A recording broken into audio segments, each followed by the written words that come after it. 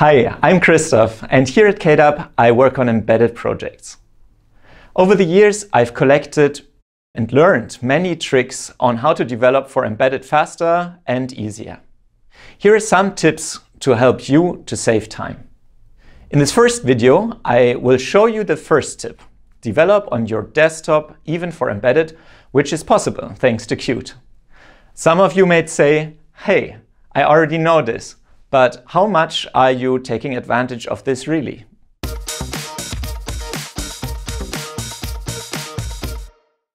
I developed this app with Qt on my local machine using Qt Creator. Qt allows you to develop cross-platform. This also means all apps here on my desktop look pretty much the same as on the device. And you should definitely go for that as much as you possibly can. I know, I know, but shouldn't this be about embedded development, you ask? Well, that's my point. If you want to save time in turnaround and iterate fast, you have to use this power of Qt as much as possible. So why is this great? You can just iterate more quickly on the PC. Additional packages can be installed faster on desktop. Switching from Git version to another Git version is faster. You have more performance, everything is just quicker on a PC, and most importantly for me, you feel at home. It is your machine. To understand what we are dealing with, I built a simple embedded application. It consists of a board, an iMX6 quad-core featuring a GPU, and I connected it to this touchscreen, which will show application to the user. For this video series, I've built this custom LED box, which I will control from the application. So this was the hardware.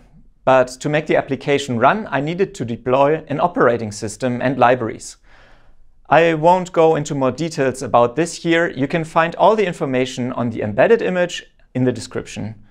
For now, my application highlights all the LEDs that are touched.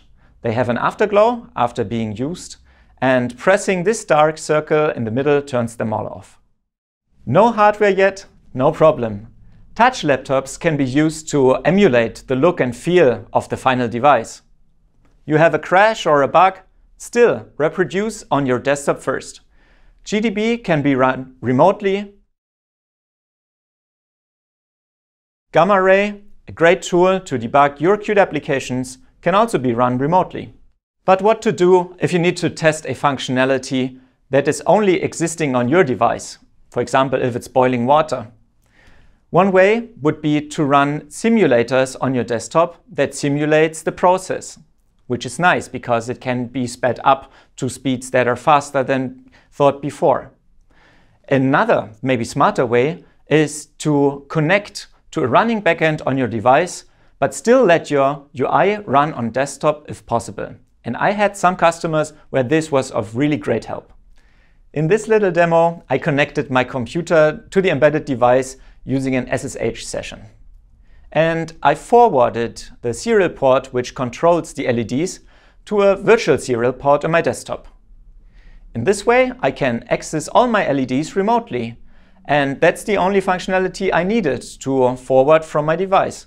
So when I open the application here on my desktop, the lights still go on, and I can still test everything back to back. As a final remark, be warned, in this video, I showed you how to be quicker in embedded by basically not doing embedded at all, but desktop development as long as it's possible. But nothing is more real and tells the whole truth, such as reality.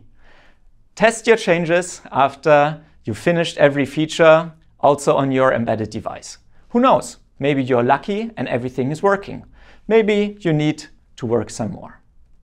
And that's it for this video. I hope you liked it. Put some comments in the comments below and see you next time.